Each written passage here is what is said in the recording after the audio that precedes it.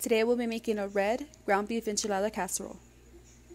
To start off, we're going to take a pan and add in a pound of ground beef, break that up some. Then we're going to season our beef with oregano, chicken bouillon, black pepper, and garlic salt.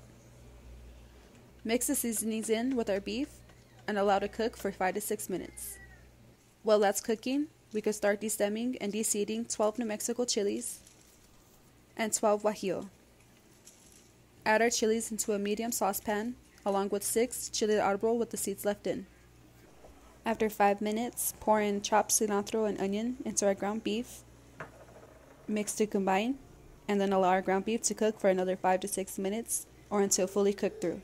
Rinse our chilies well, then we're going to cover them with water and allow them to boil for 10 minutes or until they soften.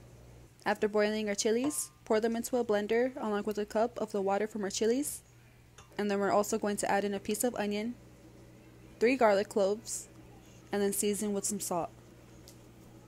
After sprinkling in some salt, we can go ahead and blend that well, then set that aside. To our saucepan, we're going to heat up a tablespoon of oil and then go ahead and begin straining in our sauce. Just make sure to pour in 1 to 2 cups of water into our blender to get any remaining sauce and strain that in as well. Now just allow that to simmer for 2 to 3 minutes. Once we finish with our sauce, we can now begin assembling our casserole. Begin lightly frying some corn tortillas for a minute on both sides, then dip them into our sauce and lay them into a square casserole dish. Scoop on some of our ground beef and sprinkle on some Fiesta blend cheese. Now just drizzle on some more of our enchilada sauce and repeat the process for another two or three layers. Once we finish with our final layer, top with cheese and any remaining sauce.